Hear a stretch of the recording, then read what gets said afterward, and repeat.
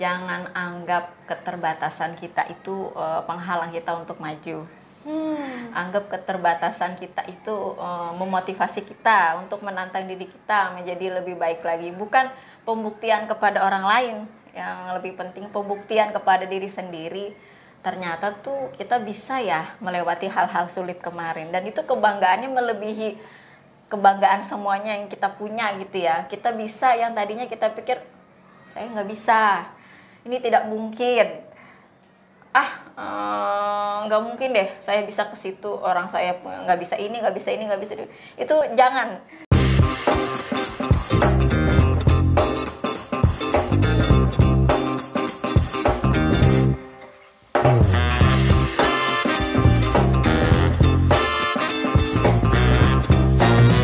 Hai Sobat UMKM, Bertemu lagi dengan saya, Viola. Hari ini saya kedatangan owner dari Jolly Craft.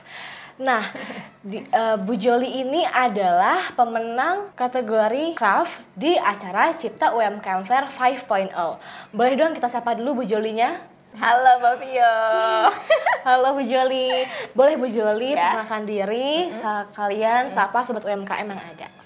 Ya, halo semuanya. Assalamualaikum. Perkenalkan, nama saya Yuliani. Saya owner dari Jolly Craft. Begitu Mbak Vio. Oke, FYI nih teman-teman, Bu Jolly ini adalah salah satu binaan kami SML UMKM Center di batch 2 loh. Nah sekarang kan udah batch 3 nih. Gimana sih Bu perasaan Ibu dari awal batch 2 sampai hmm. sekarang batch 3. Terus kita menang nih Bu ternyata. Bu Joli yeah. menang di kategori craft di Cipta UMKM Fair kemarin. Baik, terima kasih Mbak Vio. uh, sebelumnya Alhamdulillah bersyukur banget, terima kasih banyak buat uh, supportnya, full support deh pokoknya dari SML UMKM Center dari semenjak ikut di batch 2 tahun 2002 sampai sekarang tuh uh, progres Jolly Craft tuh naik terus Alhamdulillah. Alhamdulillah. Jadi pencapaian dari segi operasionalnya, dari uh, memperbaiki diri di bidang bisnisnya tuh terus bergerak naik gitu. Jadi uh, saya rasa pencapaian kemarin yang di Eka Cipta uh, Foundation Fair itu ya uh, itu uh, salah satu salah satu hasil dari uh, binaan, salah satu hasil karya tangan-tangan para mentor saya dari SML Welcome Center, dari timnya Bu Mega juga. Itu itu nggak bisa lepas dari mereka sih. Saya bisa seperti ini juga bersyukur banget alhamdulillah punya support system dari SML, SML Welcome Center tuh bagus banget Mbak Vio. Seneng banget, alhamdulillah. Oke, kita kasih applause dulu buat Bu Joli. Wah, keren banget.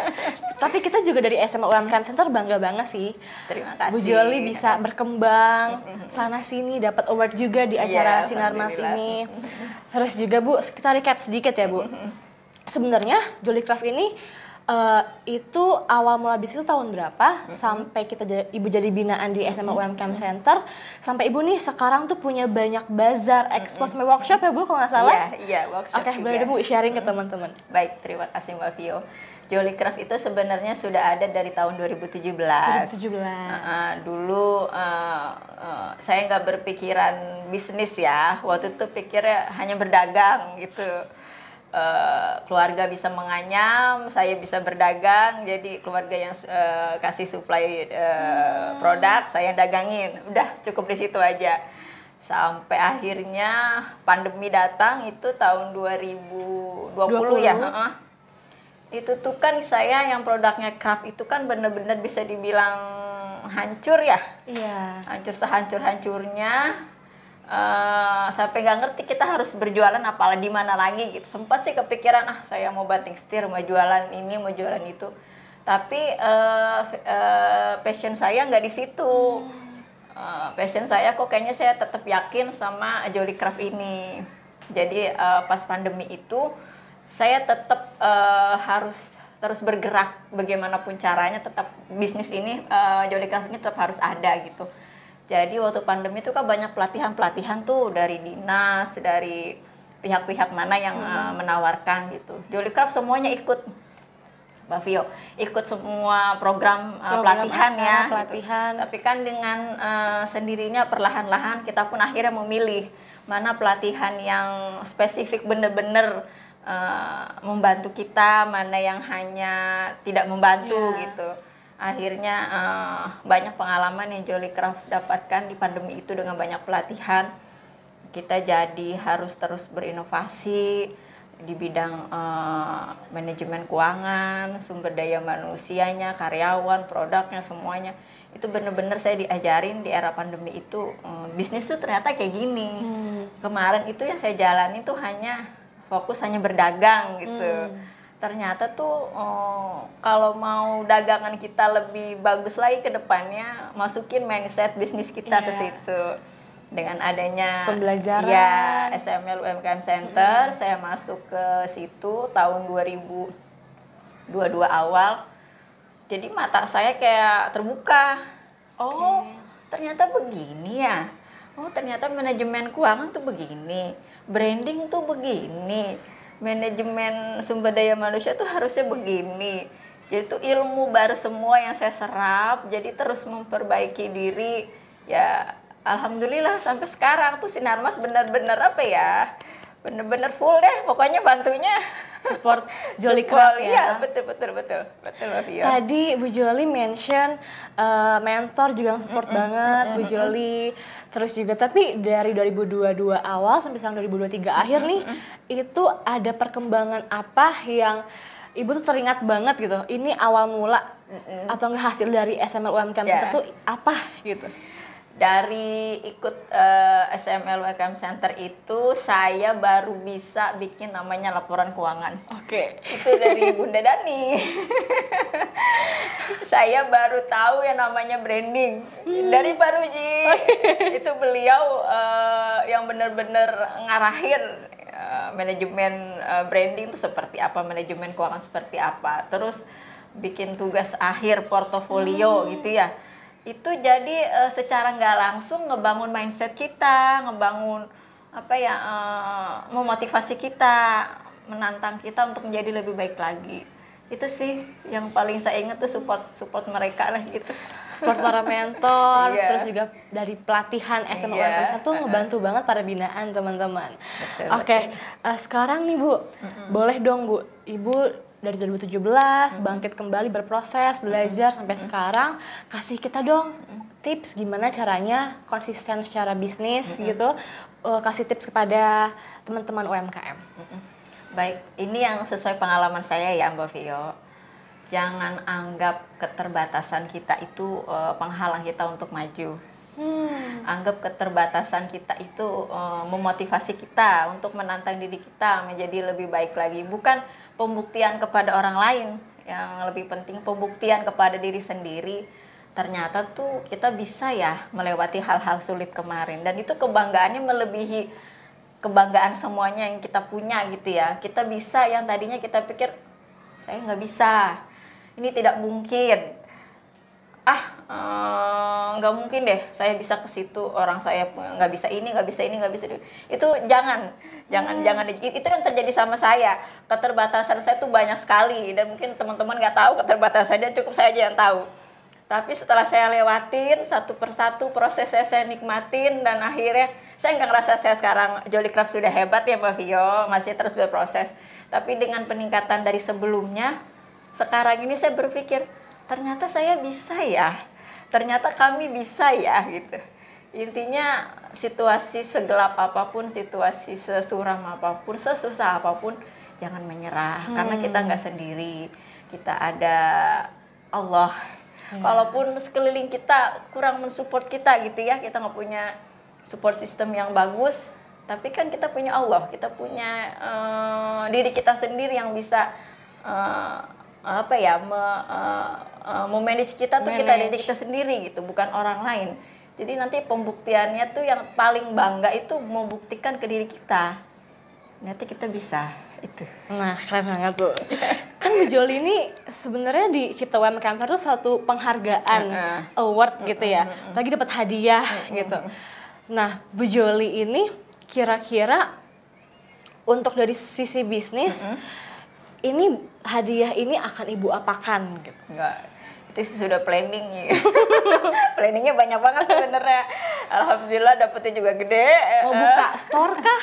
Official store gitu. Eh, eh, eh, rencana yang paling jangka pendeknya sih dari hadiah itu saya pengen mengembangkan eh, SDM kami yang eh, saya mau bikin pelatihan untuk eh, para penganyam dekat rumah jadi lebih lebih intens lagi kemudian tentu saja penambahan eh, modal ya untuk produksi kita biar lebih banyak lagi dan apa ya eh, ya beli eh, peralatan perlengkapan yang sebelumnya kita nggak punya dan cita-cita pengen punya jadi dengan adanya ini bisa tercapai gitu Oke. Iya. Terus Ibu Joli juga tadi bilang workshop. Nah, workshop Ibu Joli ini berarti Ibu udah melatih iya para apa nih Bu? Ibu melatih siapa Heeh. dan apa aja di mana gitu. Baik, Eh, terima kasih Mbak Vio. Sebelumnya kan saya belajar menganyam itu dari nenek di kampung. Kebetulan nenek saya itu penganyam. Oh, leluhur ya Bu udah. Ya. Bakat turunan. Leluhur ya. Jadi dari situ saya bisa nganyam di situ. Terus awal-awal usaha kan saya ngajarin eh, para tetangga, para saudara gitu ya. Terus ada eh, setiap kali bazar ada customer gitu kamu bisa nggak ngajar nganyam? Saya bilang ya saya bisa. Dan kebetulan alhamdulillah sih masih berjalan sampai sekarang. Dan titik baliknya itu awalnya eh, pernah juga ini yang eh, salah satu yang membanggakan ya Mbak Vio. Waktu itu saya dikontak sama Disperindak eh, Provinsi Banten. Mereka ngajak saya pelatihan di sebuah desa ada dua desa sebelumnya eh, memang saya melatih tuh eh, customer atau yang pengen belajar tuh di daerah kota besar di, di Tangsel atau Jakarta gitu. Ini saya diajak ke pelosok desa di Serang. Itu di sana tadinya mereka nggak ngerti bikin anyaman, bikin ya mereka eh, seperti warga biasa yang tinggal di daerah Serang itu kan kebanyakan industri desanya maksudnya Eh, nggak ada apa ya eh, apa ya pengalaman. Kalau di kampung kan kampung pelosok itu kan eh, petani bisa berkebun Iya. bisa gitu. Tapi kan kalau di Serang itu yang kota industri desanya itu walaupun terpencil dia nggak ada pertanian perkebunan gitu sedikit gitu. Akhirnya saya ke sana saya eh, mengajar nganyam. Satu desa namanya desa Silebu. Ya. Itu sampai Pak Lurahnya ikut datang, ikut support saya di sana selama dua hari dan alhamdulillah tuh antusiasnya dari PKK, dari Karang Taruna di desa Silebu itu mereka datang banyak Mbak Vio. Saya nggak nyangka saya datang dibikinin tenda, dipasang spanduk, selamat datang. itu yang yang salah satu itunya salah satu kebanggaan tersendiri buat saya. Terus sampai udah selesai itu pelatihan, itu alhamdulillahnya sekarang saya dapat kabar tuh mereka sering dapat orderan dari dinas-dinas terkait. Kemarin dapat kabar eh, Bu Joli alhamdulillah eh, ah, ah, berkat pelatihan kemarin warga kami menerima pesanan dari eh, instansi ini sebanyak 150 tas. Sampai mereka kewalahan ini gimana Bu? Saya kan baru belajar kemarin akhirnya saya kasih masukan oh bapak harus begini begini begini begini. Itu kebanggaan tersendiri. Terus yang keduanya di desa satu lagi sama seperti itu PKK juga. Sampai sekarang masih masih sering masih sering intens komunikasi sama mereka. Dan kebanggaan juga eh, mereka masih mau bersilaturahmi sama saya. Dan mereka menunjukkan kalau apa yang mereka lakukan itu eh, ada hasilnya Ada buat mereka hasilnya. sendiri iya gitu Keren, keren, keren. Iya. Jolly Craft ini berarti udah bisa ngebantu para penduduk desa ngasih Iya. pelatihan, Iya. workshop, terus juga semoga orderannya makin banyak. Amin. Semoga juga hadiah dari Cipta Foundation ini, Eka Cipta Foundation ini bisa memberikan eh, perkembangan lebih besar buat Jolly Craft ya teman-teman. Boleh dong Bu, kita promosi produk Iya. Jolly Craft ini ya. Kalau mau beli produk Jolly Craft itu ke mana? Oh iya, baik. Eh, sebelum saya promosi, saya nyambung yang tadi dulu Mbak Bio yang workshop tadi ya. Ya. Eh, Alhamdulillah besok tanggal 31 Oktober itu kita ada workshop menganyam sama komunitas Amerika Latin di Jakarta. Wah. Itu eh, sudah fix nanti eh, kita mau mengajar menganyam. Sebelumnya itu sih banyak ekspat-ekspat juga yang belajar menganyam gitu. Suatu kebanggaan tersendiri eh, buat Jolly Craft eh, untuk meningkatkan branding Jolly Craft ya. Baik, eh, Jolly Craft itu produk anyaman eh, mayoritas tas anyaman ber- berbahan dasar eh, plastik daur ulang yang memiliki tekstur tebal, halus, fleksibel, durable dan tentu saja washable, fashionable.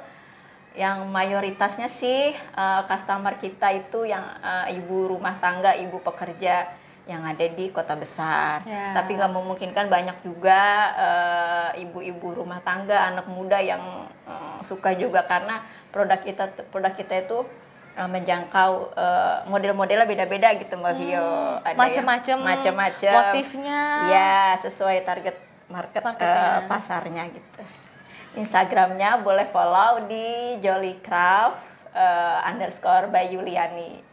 Insya Allah di sana banyak eh, kegiatan Jolly Craft juga dan eh, produk-produknya eh, bisa lihat juga di Jolly Craft underscore eh, katalog gitu. Ih, seneng banget teman-teman. Semoga hadiah award ini dari Eka Cipta Fair kemarin bisa mengembangkan bisnisnya Jolly Craft lebih Amin. lebih baik lagi, berkembang lagi, lebih luas. Iya. Teman-teman jangan lupa follow Instagramnya SMA UMKM Center dan jangan lupa subscribe YouTube-nya CSR Sinar Masen ya teman-teman. Dadah. Terima kasih Mbak Terima kasih. Terima kasih semuanya.